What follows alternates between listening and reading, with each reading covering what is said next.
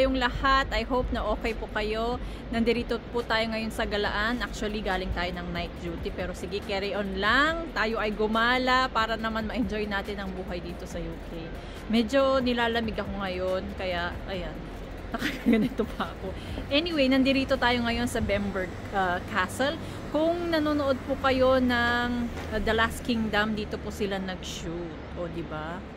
Very grateful tayo kay Lord kasi nakakapasyal tayo sa mga lugar na ganito. So kayod-kayod lang para naman ma-enjoy din ang buhay. O di ba? Yan. So enjoy lang po tayo. Gaan, di ba yun? Parang sinusundan natin yung mama. So anyway, yan.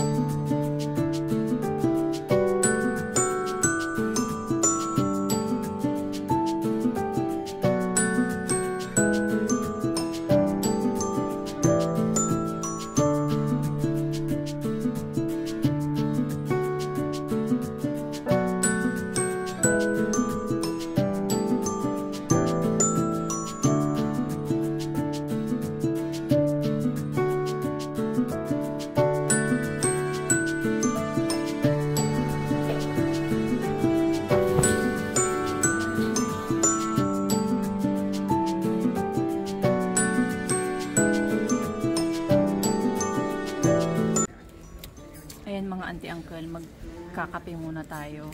Titikman natin tong cheese cone nila, kung anong lasa. So, ayan, nalagyan na ng butter.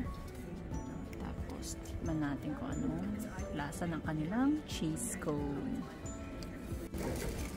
So, ito na po.